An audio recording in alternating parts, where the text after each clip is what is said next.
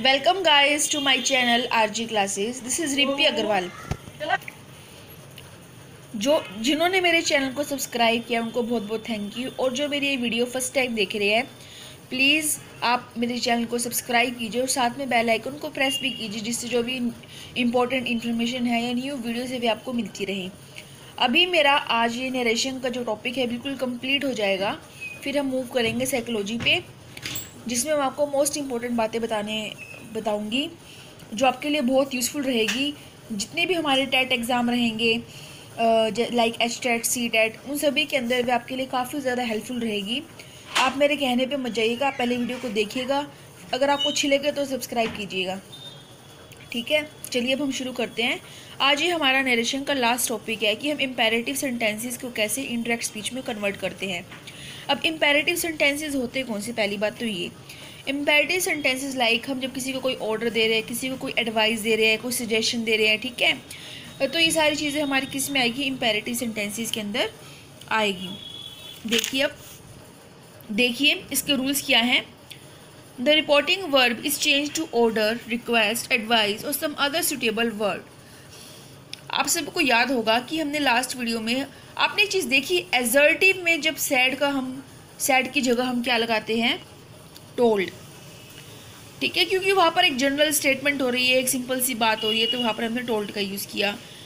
Interrogation के अंदर हम क्या यूज़ करते हैं? आस्क्ड ठीक है? इंक्वायर यानी ऐसे वर्ब्स ऐसे मतलब ऐसी चीज़ से हम रिप्लेस करते हैं, जो वे सुटेबल होती है। यानी इंटेरोगेटिव हम कोई चीज़ पूछ सकते हैं। कोई क्वेश्चन आस्क कर सकते हैं तो वहाँ पर हमने आज का यूज़ किया। लेकिन इम्पेरेटिव में हम रिपोर्टिंग वर्क की जगह क्या लगाएँगे? यानी जो भी सैड होगा डायरेक्ट स्पीच के अंदर सैड को किसमें कन्वर्ट करेंगे? रिक्वेस्ट में एडवाइस में या फिर ऑर्डर में? ये जो भी उस सेंटेंस के अकॉर्डिंग सुटेबल रहेगा, उसके अकॉर्डिंग हम रिपोर्टिंग वर्ब यानी सैड को चेंज करेंगे।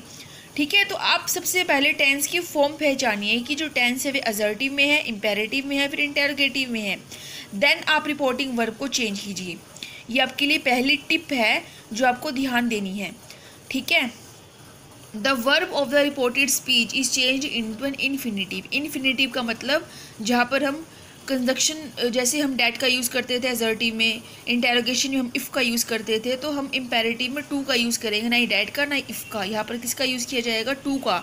अगर हम टू यूज़ कर लेंगे तो वे हमारा सेंटेंस क्या बन जाएगा? इन्फिनेटिव बन जाएगा, ठीक है? एग्ज़ाम्पल देखिए।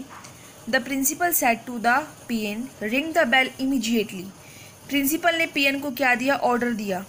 The principal said reporting verb है, इसको हमने चेंज किया ऑर्डर में। किसको दिया ऑर्डर पीएन को। The principal order the PN अब यहाँ पर हम इन्वर्टेड कॉमर्स को हटाकर क्या लिख देंगे? To to ring the bell immediately clear okay हम नेक्स्ट पे मूव करते हैं। The doctor said to me यहाँ पर डॉक्टर ने मुझे कहा stop eating fried and spicy food यानी तला हुआ और ज़्यादा मसालेदार खाना खाना बंद करो। तो जो डॉक्टर ने मुझे एक तरह की सलाह ही तो दी है तो द डॉक्टर एडवाइज मी पहले पहले आप ये देखिए कि सेंटेंस है, कौन सा ये इम्पेरेटिव आप सभी को मालूम है, ठीक है? अब आप ये देखिए सेंटेंस की फॉर्म से ये पहचानिए कि वे कमांड है ऑर्डर है एडवाइज है, ठीक है? आप उस चीज़ को पहचान कर, यहाँ पर आप रिपोर्टिंग वर्क को चेंज कीजिए। तो यहाँ पर मुझे डॉक्टर ने क्या दी? Advise the. The doctor advise me inverted commas को हटाकर to stop eating fried and spicy foods ठीक है, लेकिन अगर मान लीजिए कोई ऐसा सेंटेंस है जहाँ पर प्रोनाउंस का यूज़ किया गया है तो आप प्रोनाउंस या टेंसेस को उसी रूल के अकॉर्डिंग चेंज करेंगे जो हम लास्ट वीडियो में ऑलरेडी डिस्कस कर चुके हैं. आई होप आपकी नरेशन या रिपोर्टेड स्पीच से रिलेटेड जितने भी डाउट रहे होंगे, मेरी इस वीडियोस के थ्रू आपके क्लियर हो गए होंगे. मैंने यूट्यूब में अलग से एक प्लेलिस्ट का सेक्शन बनाया है. जहाँ पर आपको अलग, जहाँ पर आपको कैटेगरी वाइज वीडियोस मिलेगी। लाइक मैंने टेक्स्ट के लिए अलग से एक प्लेलिस्ट बनाई है मतलब एक अलग से कैटेगरी बनाई है। आईबीएम यानी इंटरनेशनल बिज़नेस एनवायरनमेंट के लिए अलग से कैटेगरी बनाई है। इंग्लिश में मैंने दो टॉपिक बिल्कुल कंप्लीट करा दिए हैं टेंसेज और रिपोर्टेड स्पीच जिसको हम डायरेक्ट और इनडायरेक्ट स्पीच भी कहते हैं। मैंने वे भी आपको आज कंप्लीट करा दिया। मैंने उसके लिए भी प्लेलिस्ट सेक्शन में अलग से कैटेगरी बनाई है। अगर आपको मेरी कंप्लीट वीडियोस देखनी है तो आप डायरेक्टली मेरे चैनल पर अराइव करके सीधा प्लेलिस्ट में जाके आप उनको भी खोल ओपन कर सकते हैं। ठीक है? जहाँ पर आपको सारी वीडियो स्टेप बाई स्टेप मिल जाएगी। ठीक है? अब मैं स्टार्ट करूँगी साइकोलॉजी का पोर्शन मैं मॉर्निंग में डालूँगी नेट से रिलेटेड वीडियोज़ एंड इवनिंग में मैं डालूँगी एस्टेट और सी टेट से रिलेटेड वीडियोज़ जिससे हमारी जो प्रिपरेशन है वैसे हम होती रहेगी। एंड दूसरी बात, अक्सर लोगों का ये एक प्रॉब्लम आ रही है कि हम नेट की तैयारी और एस्टेट की तैयारी कैसे करें, जिससे कि हमारे दोनों पेपर क्या हो जाए क्लियर हो जाए। मैं आपको एक मोस्ट इंपॉर्टेंट बात बताने वाली हूँ। आपको ये पता होना चाहिए, जो नेट है वे एन कंडक्ट कर रही है नेशनल टेस्टिंग एजेंसी कंडक्ट कर रही है, ठीक है? जो नेट का पेपर है वे हमारा होता है पोस्ट ग्रेजुएशन लेवल का। समझ रहे हो मेरी बात? यानी जो पोस्ट ग्रेजुएट कैंडिडेट्स है वही एलिजिबल है नेट का एग्ज़ाम देने के लिए। और एस्टेट का एग्ज़ाम सिर्फ़ जिसने बी कर रखी है, वे एलिजिबल है।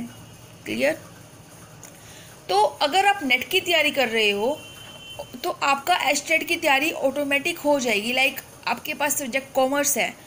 तो आपके, आपने नेट की तैयारी की कॉमर्स की? ठीक है? और आपने एस्टेट का पीजीटी का फॉर्म भरा कॉमर्स का। तो आपको ये पता है कि जो कॉमर्स का सेक्शन है, वो सिक्सटी मार्क्स का आता है एस्टेट के अंदर स्पेसिफिक सब्जेक्ट ऐसे ही, और एस्टेट के अंदर जो क्वेश्चंस आते हैं, वे हमारे मोस्ट कॉम्प्लिकेटेड क्वेश्चंस आते हैं, वे हमारे आते हैं पोस्ट ग्रेजुएशन लेवल के क्वेश्चन अगर आप नेट की तैयारी करते हो क्योंकि आपको पता है कि नेट का एग्ज़ाम भी क्रैक करना काफ़ी टफ है लाइक एस्टेट लेकिन नेट में जब आप तैयारी कर रहे हो तो आपका पूरा का पूरा सिलेबस कवर हो जाएगा पोस्ट ग्रेजुएशन लेवल तक का। आप सारे कॉम्प्लिकेटेड क्वेश्चंस कवर कर लोगे प्रैक्टिस के थ्रू तो आपका उसी तरीके से जब आप एस्टेट का पेपर अटैम्प्ट करोगे तो आपका एस्टेट का भी ऑटोमेटिक क्लियर हो जाएगा। समझ रहे हो मेरी बात? तो आप एक कॉमन चीज़ को देखिए कि कॉमन क्या है दोनों में, और मुझे तैयारी कैसे शुरू करनी है तो ये आपके लिए काफ़ी यूज़फुल रहेगा आई होप आपको समझ में आया होगा कि मैं आपको क्या समझाना चाह रही हूँ, ठीक है? अब मैं आगे आपके लिए नेट से रिलेटेड वीडियोस लेके आऊँगी।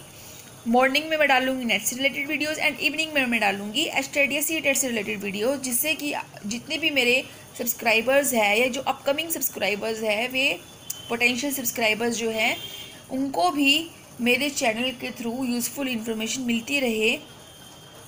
और आई होप आप सभी का आई विश आप सभी का जो एस्टेट सी रेड या नेट है, अगर आप मेरे चैनल को फॉलो करते हैं, आपके कंसेप्ट क्लियर हो, आपका एग्ज़ाम क्लियर हो, मेरे चैनल के साथ बने रहिए।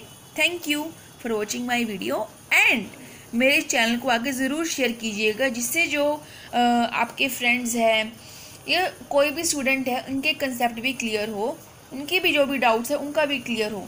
आखिर उनका भी तो भला कीजिए, ठीक है? ताकि उनके भी डाउट्स क्लियर हों। Okay thank you for watching my video